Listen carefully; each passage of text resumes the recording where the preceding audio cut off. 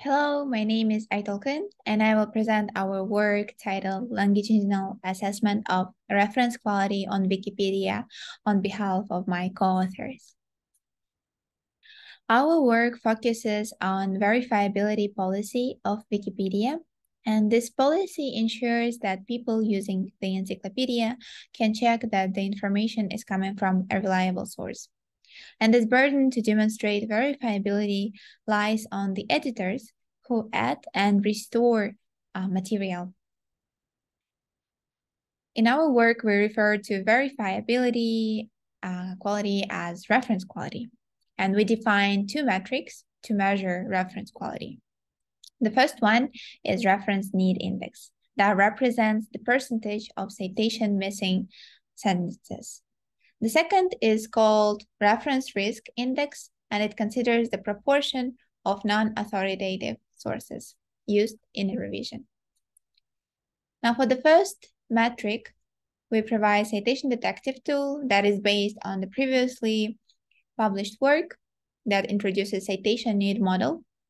And the way it works, it retrieves the article content, then segments and embeds the article. After that, it uh, forwards the word embeddings and the section embeddings into the citation need model. And this citation need model gives us a label for each sentence, whether it needs or doesn't need a citation. And finally, the result is stored in a database. So the definition of reference need is a proportion of sentences missing references in a revision among those that require a citation. So here we find the set of sentences needing citation using citation need model. And then we find the proportion of uh, sentences that are missing these references. For the second index, reference risk, we utilize perennial sources list, which is a community maintained non-exhaustive list of sources whose reliability and use on Wikipedia are frequently discussed. This list has five categories, and the first one is blacklisted, deprecated, no consensus, generally unreliable, and generally reliable. And the definition of this index is a proportion of unreliable references in a revision. So we find uh, the proportion of unreliable references among all the references that are present in a given revision. And we refer to unreliable references that are blacklisted and deprecated sources from the perennial sources list.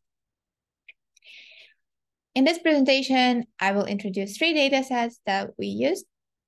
The first one is reference history dataset that tracks occurrences of references that are added to the perennial sources list.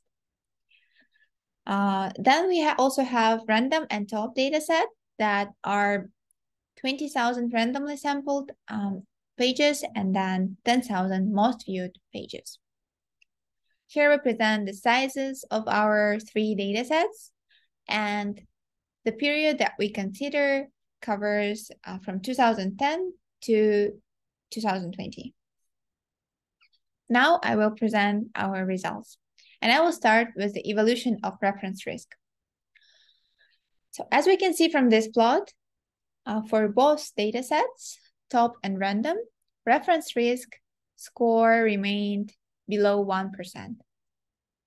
And we can also notice that after the creation of perennial sources list in 2018, the reference risk score decreased in both datasets. Now, considering the evolution of reference need score, we can see that in both uh, top and random datasets, reference need score has steadily decreased over 10 years.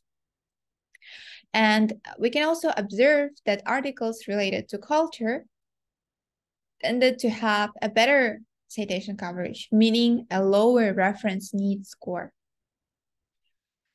In 2020, mean reference need score reached nearly 30% and 38% for top and random datasets, respectively.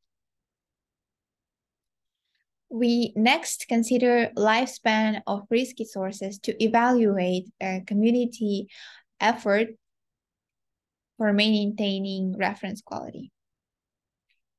And we refer to lifespan as the time elapsed between the addition and removal of a reference in the number of dates, days. As we can see from this plot, the median lifespan of risky references decreased by more than threefold once they were added uh, to the perennial sources list. This result may indicate that labeling of perennial sources encouraged editors to remove unreliable references more quickly. To sum up, uh, reference need is decreasing and reference risk is remaining stable stably low. Reference quality does differ by topics and community efforts, uh, as for example, creation of perennial sources list, uh, play a key role in maintaining reference quality on Wikipedia. Possible future directions are extending our work to other language editions and considering a global reliability index, index because in our case, we are limited to the perennial sources list coverage in our computation of reference risk score. You can refer to our full paper using this link where we also show some additional experiments as well as to our GitHub repository where we share the dataset and some code that we used. We are open for further discussions and suggestions, so you can contact us through this email. And thank you for listening.